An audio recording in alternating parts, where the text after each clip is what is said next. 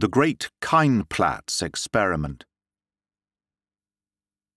Of all the sciences which have puzzled the sons of men, none had such an attraction for the learned Professor von Baumgarten as those which relate to psychology and the ill defined relations between mind and matter. A celebrated anatomist, a profound chemist, and one of the first physiologists in Europe, it was a relief for him to turn from these subjects and to bring his varied knowledge to bear upon the study of the soul and the mysterious relationship of spirits. At first, when as a young man he began to dip into the secrets of mesmerism, his mind seemed to be wandering in a strange land where all was chaos and darkness, save that here and there some great unexplainable and disconnected fact loomed out in front of him.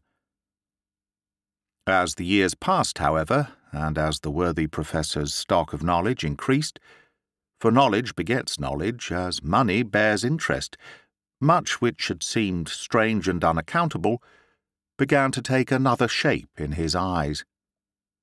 New trains of reasoning became familiar to him, and he perceived connecting links where all had been incomprehensible and startling. By experiments which extended over twenty years, he obtained a basis of facts upon which it was his ambition to build up a new exact science which should embrace mesmerism, spiritualism, and all cognate subjects. In this he was much helped by his intimate knowledge of the more intricate parts of animal physiology, which treat of nerve currents and the working of the brain for Alexis von Baumgarten was Regius Professor of Physiology at the University of Keinplatz and had all the resources of the laboratory to aid him in his profound researches. Professor von Baumgarten was tall and thin, with a hatchet face and steel grey eyes which were singularly bright and penetrating.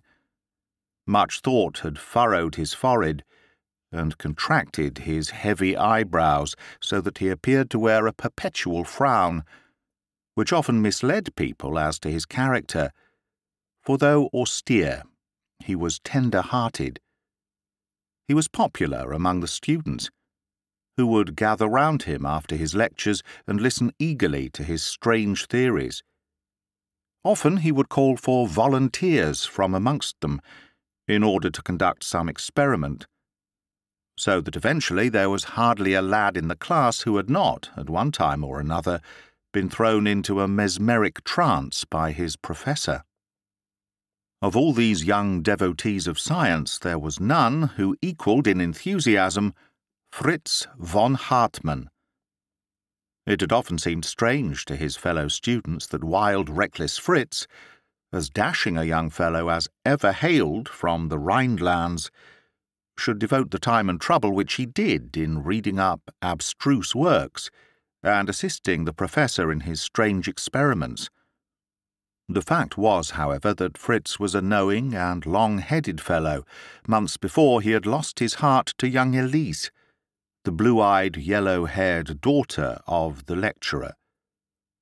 Although he had succeeded in learning from her lips that she was not indifferent to his suit, he had never dared to announce himself to her family as a formal suitor. Hence he would have found it a difficult matter to see his young lady had he not adopted the expedient of making himself useful to the professor. By this means he frequently was asked to the old man's house, where he willingly submitted to be experimented upon in any way as long as there was a chance of his receiving one bright glance from the eyes of Elise or one touch of her little hand.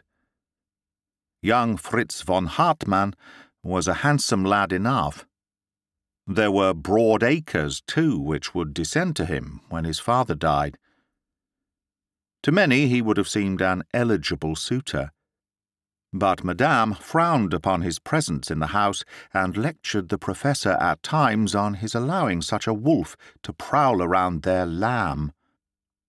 To tell the truth, Fritz had an evil name in Keinplatz.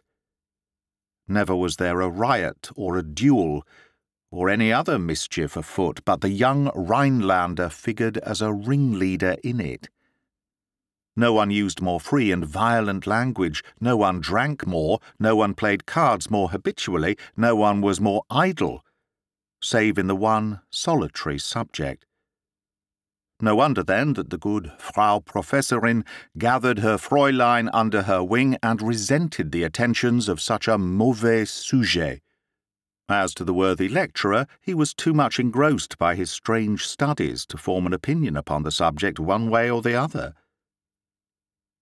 For many years there was one question which had continually obtruded itself upon his thoughts.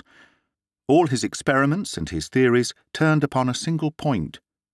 A hundred times a day the professor asked himself whether it was possible for the human spirit to exist apart from the body for a time, and then to return to it once again. When the possibility first suggested itself to him, his scientific mind had revolted from it. It clashed too violently with preconceived ideas and prejudices of his early training. Gradually, however, as he proceeded farther and farther along the pathway of original research, his mind shook off its old fetters and became ready to face any conclusion which could reconcile the facts. There were many things which made him believe that it was possible for mind to exist apart from matter. At last it occurred to him that by a daring and original experiment the question might be definitely decided. It is evident, he remarked in his celebrated article upon invisible entities, which appeared in the Keinplatz Wöchentlich Medical Schrift about this time, and which surprised the whole scientific world, it is evident that under certain conditions the soul, or mind, does separate itself from the body. In the case of a mesmerized person, the body lies in a cataleptic condition, but the spirit has left it. Perhaps you reply that the soul is there, but in a dormant condition. I answered that this is not so. Otherwise, how can one account for the condition of clairvoyance, which has fallen into disrepute through the knavery of certain scoundrels, but which can easily be shown to be an undoubted fact I have been able myself, with a sensitive subject, to obtain an accurate description of what was going on in another room or another house. How can such knowledge be accounted for on any hypothesis, save that the soul of the subject has left the body and is wandering through space? For a moment it is recalled by the voice of the operator and says what it has seen, and then wings its way once more through the air. Since the spirit is by its very nature invisible, we cannot see these comings and goings, but we see their effect in the body of the subject, now rigid and inert, now struggling to narrate impressions which could never have come to it by natural means. There is only one way which I can see by which the fact can be demonstrated. Although we in the flesh are unable to see these spirits, yet our own spirits, could we separate them from the body, would be conscious of the presence of others. It is my intention, therefore, shortly to mesmerize one of my pupils. I shall then mesmerize myself in a manner which has become easy to me. After that, if my theory holds good, my spirit will have no difficulty in meeting and communing with the spirit of my pupil, both being separated from the body. I hope to be able to communicate the result of this interesting experiment in an early number of the Keinplatz Wöchentlich Medical Schrift. When the good professor finally fulfilled his promise and published an account of what occurred, the narrative was so extraordinary that it was received with general incredulity. The tone of some of the papers was so offensive in their comments upon the matter though the angry savant declared that he would never open his mouth again or refer to the subject in any way. A promise which he has faithfully kept. This narrative has been compiled, however, from the most authentic sources, and the events cited in it may be relied upon as substantially correct. It happened then that shortly after the time when Professor von Baumgarten conceived the idea of the above-mentioned experiment, he was walking thoughtfully homewards after a long day in the laboratory, when he met a crowd of roistering students who had just streamed out from a beer house. At the head of them, half intoxicated and very noisy, was young Fritz von Hartmann. The professor would have passed them, but his pupil ran across and intercepted him. Hey, my worthy master, he said, taking the old man by the sleeve and leading him down the road with him. There is something that I have to say to you, and it is easier for me to say it now, when the good beer is humming in my head, than at another time. What is it, then, Fritz? the physiologist asked, looking at him in mild surprise. I hear, mein Herr, that you were about to do some wondrous experiment in which you hope to take a man's soul out of his body and then to put it back again. Is it not so? It is true, Fritz. And have you considered, my dear sir, that you may have some difficulty in finding someone on whom to try this? Potztausend. Suppose that the soul went out and would not come back. That would be a bad business. Who is to take the risk? But, Fritz, the professor cried, very much startled by this view of the matter. I had relied upon your assistance in the attempt. Surely you will not desert me? Consider the honour and glory. Consider the fiddlesticks, the student cried angrily. Am I to be paid always thus? Did I not stand two hours upon a glass insulator while you poured electricity into my body? Have you not stimulated my phrenic nerves? Besides ruining my digestion with a galvanic current round my stomach. Four and thirty times you have mesmerized me, and what have I got from all this? Nothing.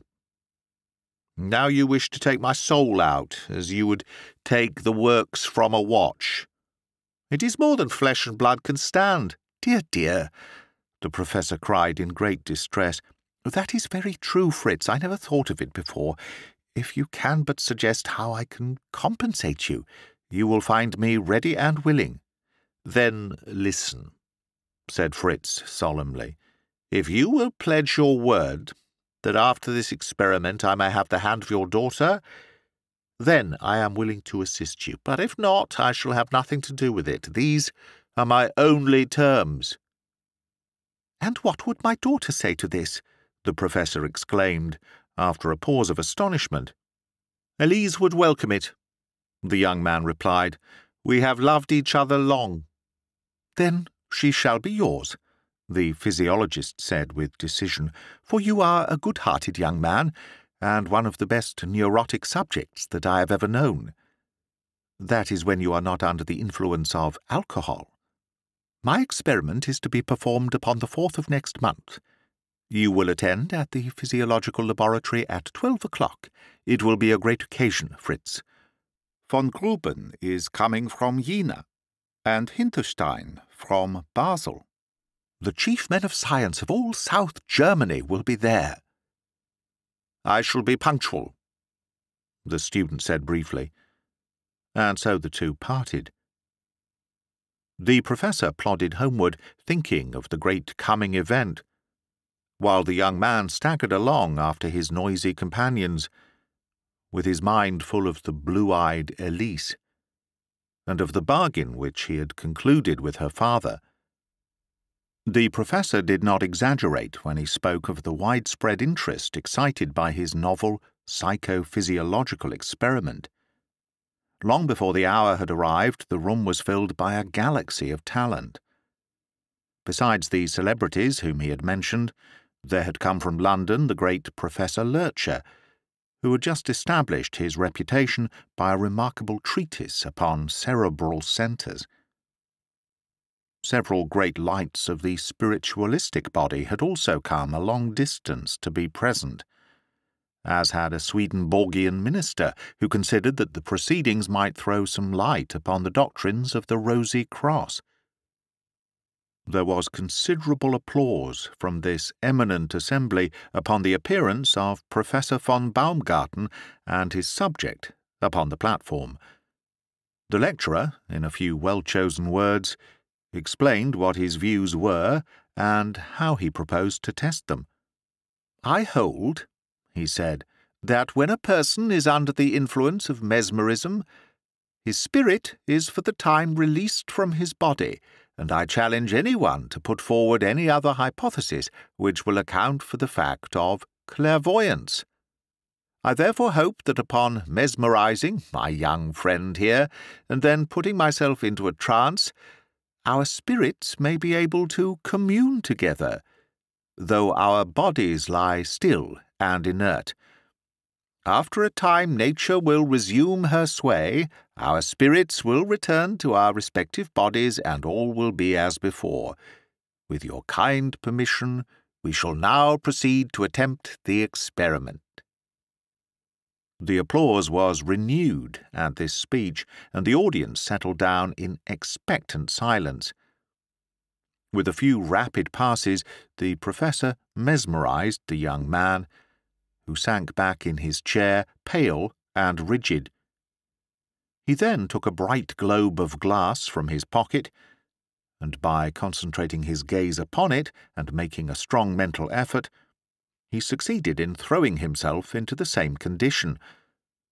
It was a strange and impressive sight to see the old man and the young sitting together in the same cataleptic condition. Whither, then, had their souls fled? That was the question which presented itself to each and every one of the spectators. Five minutes passed, and then ten, and then fifteen, and then fifteen more, while the professor and his pupil sat stiff and stark upon the platform. During that time not a sound was heard from the assembled savants, but every eye was bent upon the two pale faces, in search of the first signs of returning consciousness.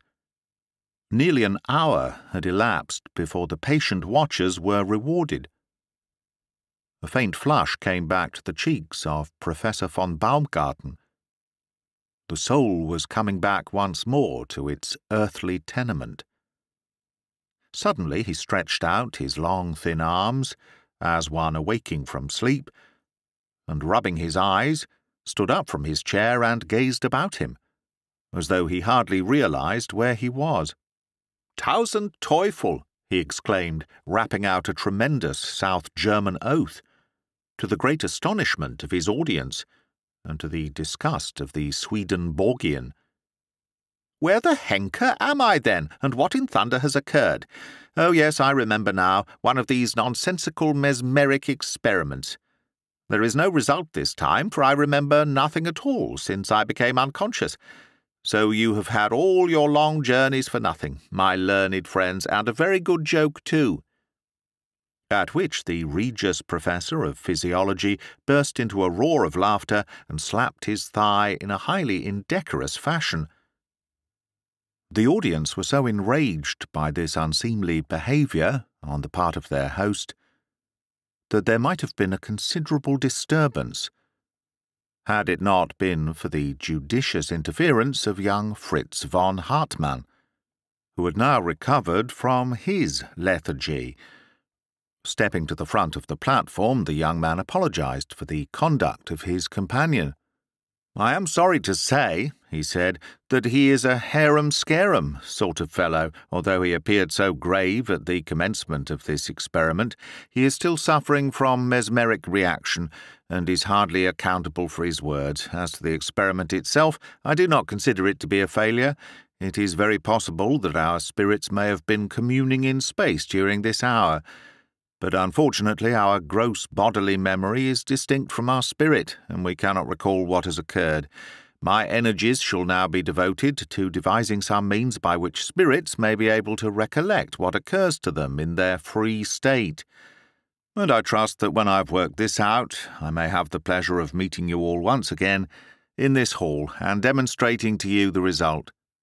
This address, coming from so young a student, caused considerable astonishment among the audience, and some were inclined to be offended, thinking that he assumed rather too much importance. The majority, however, looked upon him as a young man of great promise, and many comparisons were made as they left the hall between his dignified conduct and the levity of his professor, who during the above remarks was laughing heartily in a corner, by no means abashed at the failure of the experiment. Now, although all these learned men were filing out of the lecture room under the impression that they had seen nothing of note, as a matter of fact, one of the most wonderful things in the whole history of the world had just occurred before their very eyes. Professor von Baumgarten had been so far correct in his theory that both his spirit and that of his pupil had been, for a time, absent from his body. But here a strange and unforeseen complication had occurred. In their return, the spirit of Fritz von Hartmann had entered into the body of Alexis von Baumgarten, and that of Alexis von Baumgarten had taken up its abode in the frame of Fritz von Hartmann. Hence the slang and scurrility which issued from the lips of the serious professor, and hence also the weighty words and grave statements which fell from the careless student. It was an unprecedented event. Yet no one knew of it, least of all those whom it concerned. The body of the professor, feeling conscious suddenly of a great dryness about the back of the throat, sallied out into the street, still chuckling to himself over the result of the experiment. For the soul of Fritz within was reckless at the thought of the bride whom he had won so easily. His first impulse was to go up to the house and see her. But on second thoughts he came to the conclusion that it would be best to stay away until Madame Baumgarten should be informed by her husband of the agreement which had been made. He therefore made his way down to the Grüner Mann, which was one of the favourite trysting places of the wilder students, and ran, boisterously waving his cane in the air, into the little parlour, where sat Spiegler and Muller and half a dozen other boon companions. Ha ha, my boys, he shouted. I knew I should find you here. Drink up, every one of you, and call for what you like, for I'm going to stand treat today. Had the Green Man, who is depicted upon the signpost of that well-known inn, suddenly marched into the room and called for a bottle of wine, the students could not have been more amazed than they were by this unexpected entry of their revered professor. They were so astonished that for a minute or two they glared at him in utter bewilderment, without being able to make any reply to his hearty invitation. Donner und Blitzen, shouted the professor angrily. What the deuce is the matter with you, then? You sit there like a set of stuck pigs staring at me. What is it, then? It is the unexpected honour, stammered Spiegel, who was in the chair. Honour? Rubbish! Said the professor testily. Do you think that just because I happen to have been exhibiting mesmerism to a parcel of old fossils, I am therefore too proud to associate with dear old friends like you? Come out of that chair, Spiegel, my boy, for I shall preside now.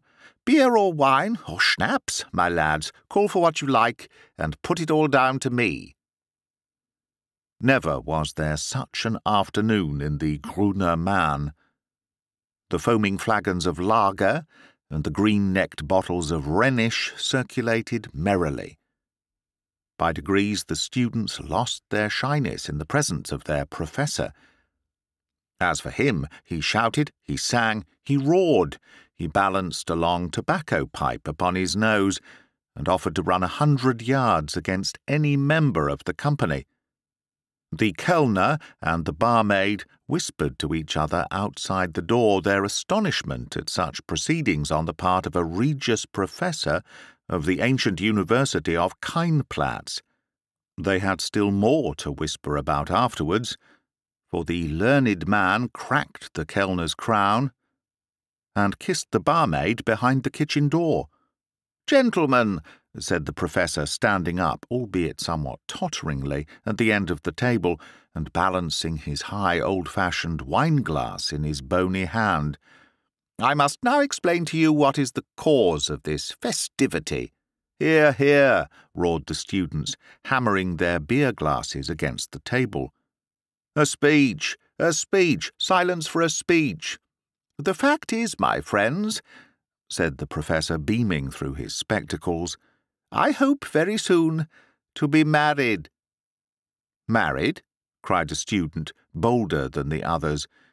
Is Madame dead, then? Madame who? Why, Madame von Baumgarten, of course.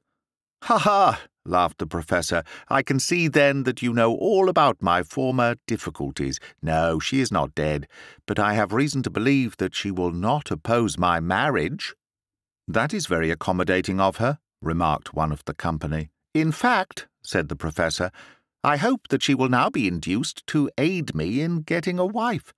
She and I never took to each other very much, but now I hope all that may be ended, and when I marry she will come and stay with me. What a happy family, exclaimed some wag. Yes, indeed, and I hope you will come to my wedding, all of you. I won't mention names, but here is to my little bride.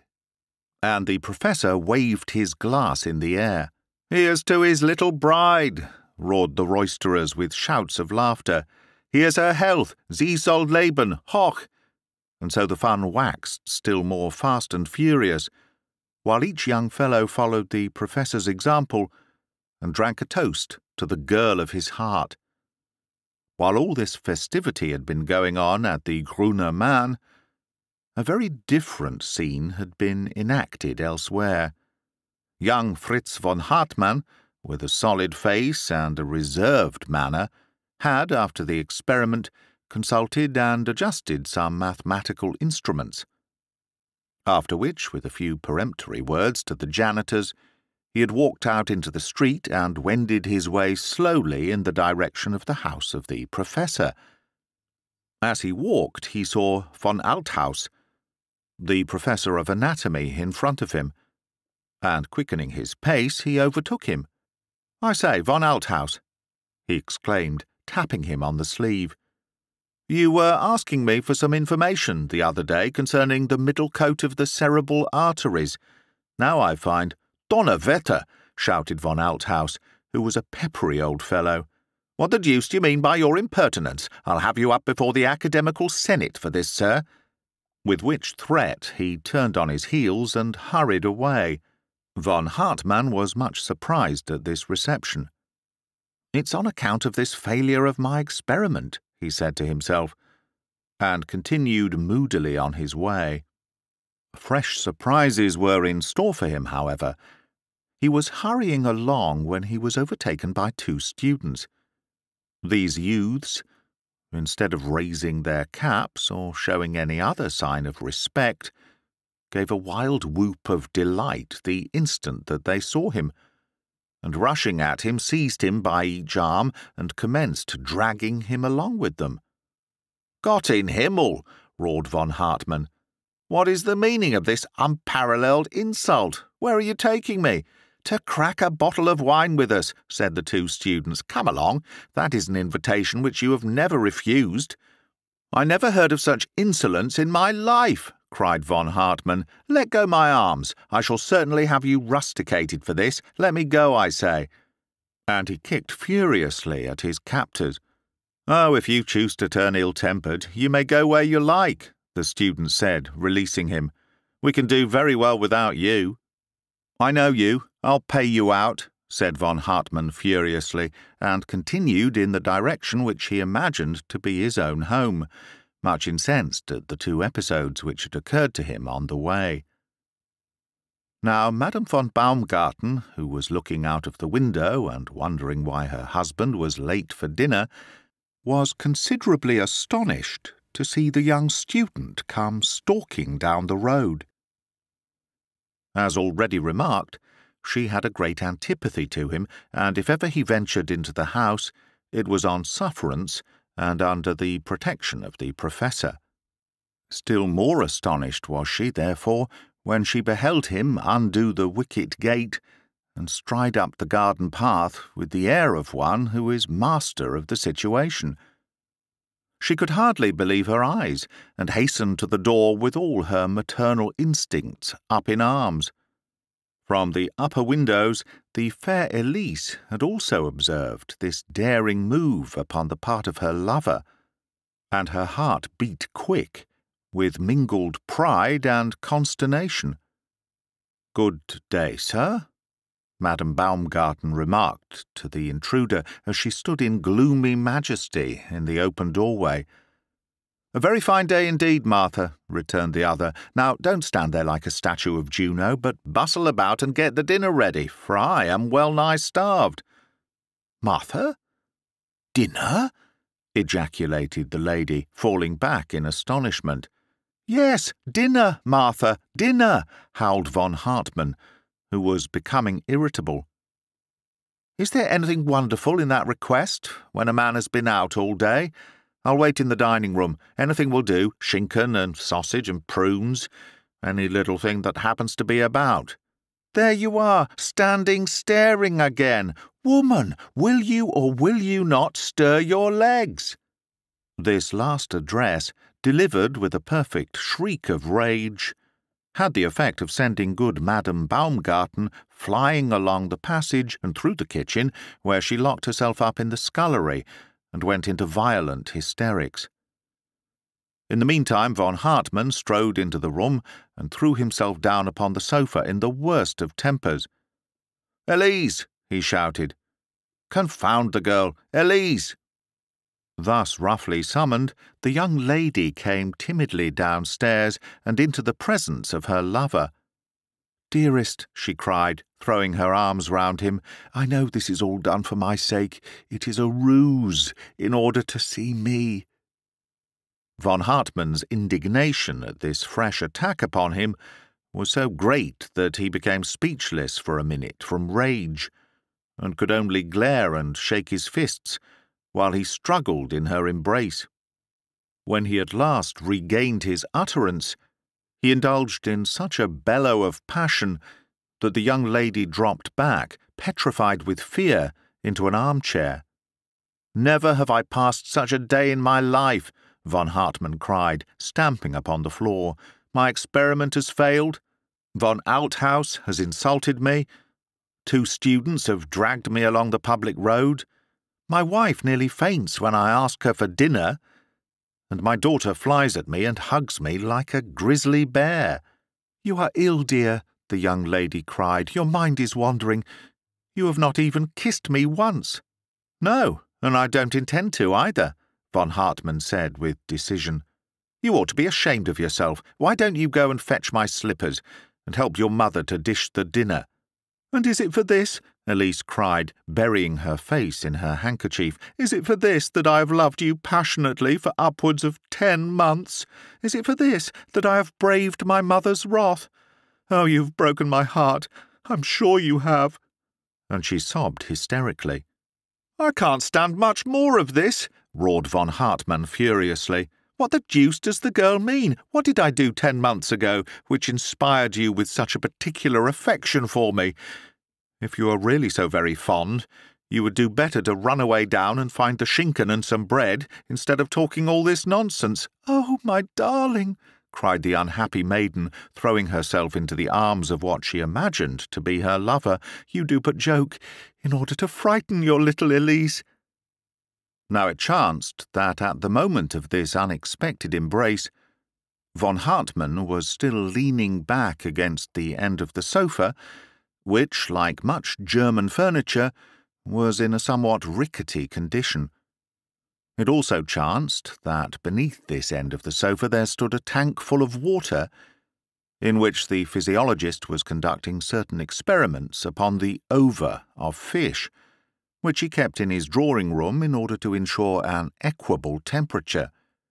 The additional weight of the maiden, combined with the impetus with which she hurled herself upon him, caused the precarious piece of furniture to give way, and the body of the unfortunate student was hurled backwards into the tank, in which his head and shoulders were firmly wedged, while his lower extremities flapped helplessly about in the air. This was the last straw. Extricating himself with some difficulty from his unpleasant position, von Hartmann gave an inarticulate yell of fury, and dashing out of the room, in spite of the entreaties of Elise, he seized his hat and rushed off into the town, all dripping and dishevelled, with the intention of seeking in some inn the food and comfort which he could not find at home. As the spirit of von Baumgarten, encased in the body of von Hartmann, strode down the winding pathway which led down to the little town, brooding angrily over his many wrongs, he became aware that an elderly man was approaching him, who appeared to be in an advanced state of intoxication. Von Hartmann waited by the side of the road and watched this individual, who came stumbling along, reeling from one side of the road to the other, and singing a student song in a very husky and drunken voice. At first his interest was merely excited by the fact of seeing a man of so venerable an appearance in such a disgraceful condition. But as he approached nearer, he became convinced that he knew the other well, though he could not recall when or where he had met him. This impression became so strong with him that when the stranger came abreast of him, he stepped in front of him and took a good look at his features. Well, sonny, said the drunken man, surveying von Hartmann and swaying about in front of him. Where the henker have I seen you before? I know you as well as I know myself. Who the deuce are you? I am Professor von Baumgarten, said the student. May I ask who you are? I'm strangely familiar with your features. You should never tell lies, young man, said the other. You're certainly not the professor, for he is an ugly, snuffy old chap, and you are a big, broad-shouldered young fellow. As to myself, I am Fritz von Hartmann, at your service. That you certainly are not, exclaimed the body of von Hartmann. You might very well be his father. But hello, sir, are you aware that you are wearing my studs and my watch chain? Donnerwetter, hiccuped the other. If those are not the trousers for which my tailor is about to sue me, may I never taste beer again. Now, as von Hartmann, overwhelmed by the many strange things which had occurred to him that day, passed his hand over his forehead and cast his eyes downwards, he chanced to catch the reflection of his own face in a pool which the rain had left upon the road. To his utter astonishment, he perceived that his face was that of a youth, that his dress was that of a fashionable young student, and that in every way he was the antithesis of the grave and scholarly figure in which his mind was wont to dwell. In an instant, his active brain ran over the series of events which had occurred and sprang to the conclusion. He fairly reeled under the blow. Himmel, he cried, I see it all. Our souls are in the wrong bodies. I am you, and you are I. My theory is proved. But at what an expense!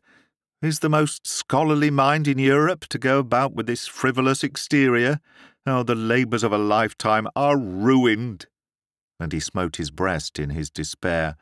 I say, remarked the real von Hartmann from the body of the professor. I quite see the force of your remarks, but don't go knocking my body about like that. You received it in excellent condition. But I perceive that you have wet it, and bruised it, and spilled snuff over my ruffled shirt front. It matters little, the other said moodily. Such as we are, so we must stay. My theory is triumphantly proved, but the cost is terrible. If I thought so, said the spirit of the student, it would be hard indeed. What could I do with these stiff old limbs, and how could I woo Elise and persuade her that I was not her father? No, thank heaven, in spite of the beer, which has upset me more than ever it could upset my real self. I can see a way out of it. How? gasped the Professor. Why, by repeating the experiment. Liberate our souls once more, and the chances are that they will find their way back into their respective bodies. No drowning man could clutch more eagerly at a straw than did von Baumgarten's spirit at this suggestion. In feverish haste, he dragged his own frame to the side of the road and threw it into a mesmeric trance. He then extracted the crystal ball from the pocket and managed to bring himself into the same condition. Some students and peasants who chanced to pass during the next hour were much astonished to see the worthy professor of physiology and his favourite student both sitting upon a very muddy bank, and both completely insensible. Before the hour was up, quite a crowd had assembled, and they were discussing the advisability of sending for an ambulance to convey the pair to hospital, when the learned savant opened his eyes and gazed vacantly around him. For an instant he seemed to forget how he had come there, but next moment he astonished his audience by waving his skinny arms above his head and crying out in a voice of rapture, Gott sei gedankt! I am myself again. I feel I am. Nor was the amazement lessened when the student, springing to his feet, burst into the same cry, and the two performed a sort of pas de joie in the middle of the road. For some time after that, people had some suspicion of the sanity of both the actors in this strange episode. When the professor published his experiences in the Medicalschrift, as he had promised, he was met by an intimation, even from his colleagues, that he would do well to have his mind cared for and that another such publication would certainly consign him to a madhouse. The student also found by experience that it was wisest to be silent about the matter. When the worthy lecturer returned home that night, he did not receive the cordial welcome which he might have looked for after his strange adventures. On the contrary, he was roundly upbraided by both his female relatives for smelling of drink and tobacco, and also for being absent while a young scapegrace invaded the house and insulted its occupants. It was long before the domestic atmosphere of the lecturer's house resumed its normal quiet, and longer still before the genial face of von Hartmann was seen beneath its roof. Perseverance, however, conquers every obstacle. And the student eventually succeeded in pacifying the enraged ladies and in establishing himself upon the old footing. He has now no longer any cause to fear the enmity of Madame, for he is Hauptmann von Hartmann of the Emperor's own Uhlans, and his loving wife Elise has already presented him with two little uhlans, as a visible sign and token of her affection. That is the end of the great Keinplatz experiment by Sir Arthur Conan Doyle. Read by Greg Wagland for Magpie Audio, 2023. Thanks for listening.